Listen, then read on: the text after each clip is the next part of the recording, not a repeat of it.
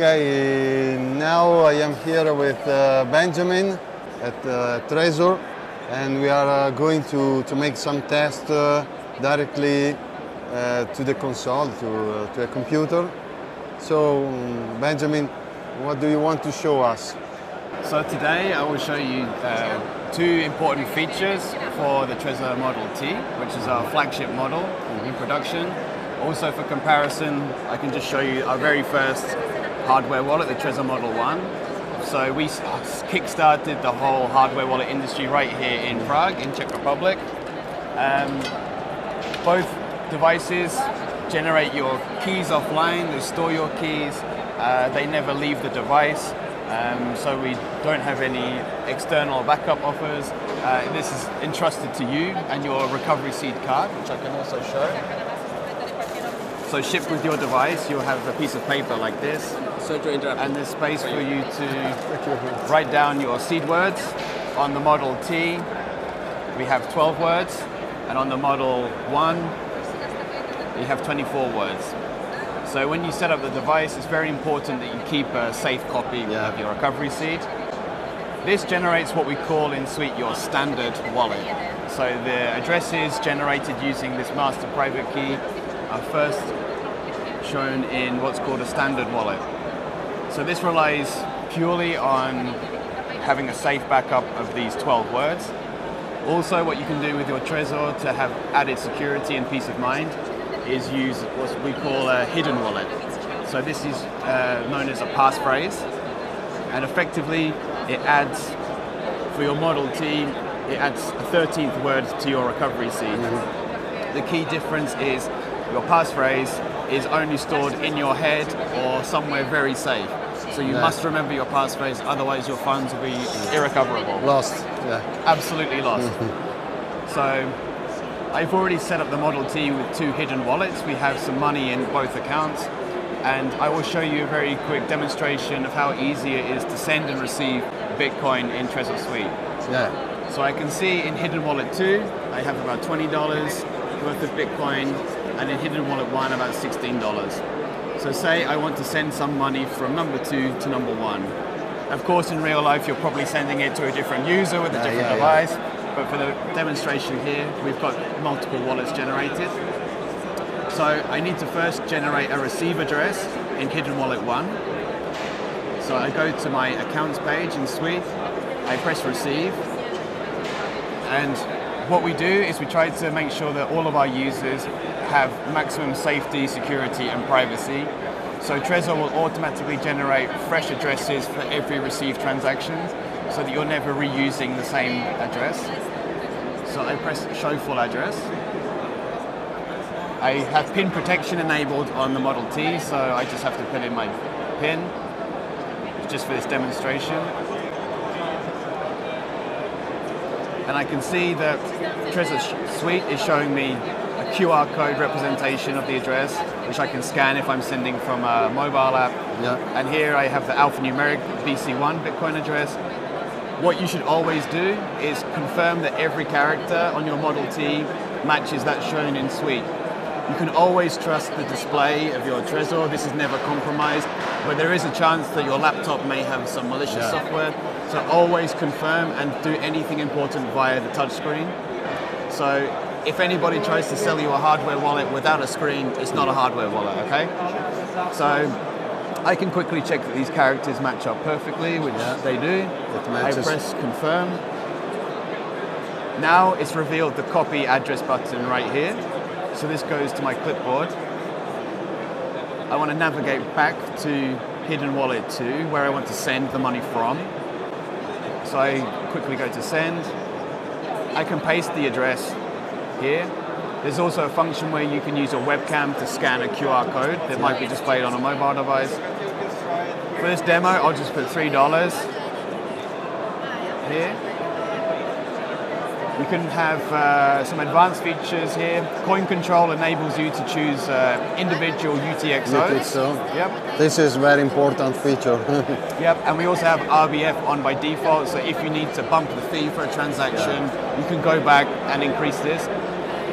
fees are quite high now, so just for the demo, I'll set it to low. But you can see an estimated time and fee rate. So we always show you upfront exactly how long we expect and how expensive it Um, will be. Uh, ju- just a question. Uh, sometimes uh, uh, people ask uh, about uh, the possibility also to connect uh, an hardware device uh, even to Electrum, for example, Yeah. or Sparrow. Is it possible? I think. also? absolutely, yeah, they're compatible wallets. Yeah. Yeah. Okay. and uh, we're done. We're happy with the fee. We're happy with the time. If it's not an urgent transaction, it's about 15 hours. If I go for high, it should be 10 minutes. But actually, the fee is so high in this case, I don't have enough funds. Then the amount, yeah. So I see the fee, I see the total. I click review and send.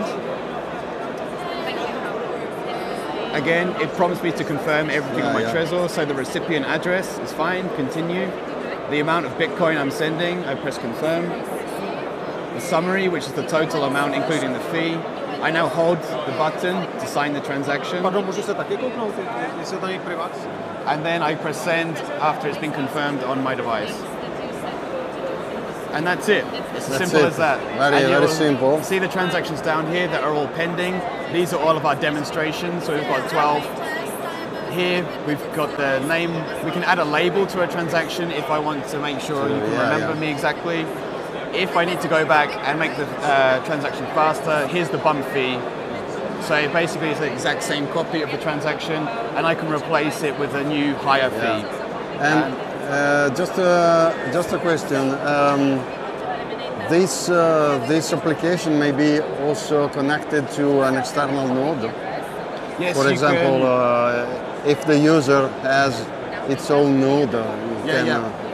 Yeah, yeah. Yeah, if the default settings in Suite is, is the Satoshi Labs nodes, but if you have your own custom backend setup, Yeah. you can connect to that absolutely. Yeah. And even even if uh, the node is running uh, under Tor. yeah, we have uh, actually the Tor switch in Trezor Suite, and um, Tor is required for advanced features such as CoinJoin. So if you want to take some UTXOs and make them private, so maybe you've bought some UTXOs or Bitcoin, it's a more friendly term, uh, on an exchange, you can send these to your Trezor. And then with the Model T, and again, this is why it's worth investing a bit more and having the Model T, you can add a CoinJoin account, which is really simple. Just like any other Bitcoin account, you have different account types, and CoinJoin is the latest one here. I add this. It takes some time to load usually, and the connectivity in the hall is a bit bad, so hopefully it will load. It just asks me if I want to access my CoinJoin account, so I press yes. And it will take some time to load, and fingers crossed it actually does it live. So uh, it's possible to CoinJoin directly in uh, your application. Yeah, and it's actually the only hardware wallet that you can really do it uh, i- natively. You don't have to use some other application. See, this this is nice because uh, I remember that, for example, using um, Wasabi, Yes. uh, it is impossible to use a device. It's uh, it's necessary to have um, uh, the key locally. Yeah, so we work, it's actually implementation of Wasabi protocol. So Trezor and Wasabi have developed this jointly. So if it loads, you can see, So this this this implements uh, Wasabi as a Yes. as a coin join. uh, ah, yeah, I, I. I heard uh, the, the the news about this. Yeah. yes, yeah. They have the best liquidity and it's basically the best uh, pool where you can have your multiple users with funds ready to be coin joined. Very very nice. So it's possible with uh, the Trezor application to uh, coin directly inside the application using liquidity from uh, uh, Wasabi. Yeah, they are coordinator. We can even Yeah. organize some chat with uh, one of our dev team leaders who implemented CoinJoin in Suite. So we can maybe try and find him. And- so all I need to do is load it, which is great because I was expecting the network to drop. Um, we need to receive something here. So as you saw earlier, it's exactly the same process. I generate my receive address. I do show full address. I confirm it again using my device. It's great. And I can go through the same process. Once I've done that, and I've, uh, I can close this now. It's as simple as I add the Bitcoin, I send myself some money, I press play, which is this button right here, So, and then I wait for it to happen. so it creates a, a self transaction which is uh, inside the CoinJoin uh, multiple It relies on there being uh, a minimum number of users. Yeah. Um, off the top of my head, I think you can even do it with as few as five people, maybe up to like 500 or so. But the idea is you sent yourself some UTXOs associated with an address. You generate a much larger joint transaction. Yeah. You have the same value and the same number of Yeah. outputs, but now there's no way to trace uh, one UTXO to a particular address. And then you can see there's send, so you can spend directly from your CoinJoin account, and it means that they are basically no way that your privacy can be eroded.